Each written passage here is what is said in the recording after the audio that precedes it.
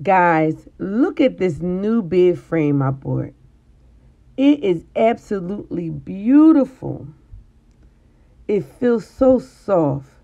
The velvet material, the silver buttons that run all the way across the headboard as well as the footboard.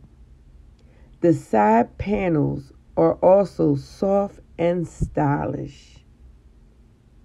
I love the way it looks in my room.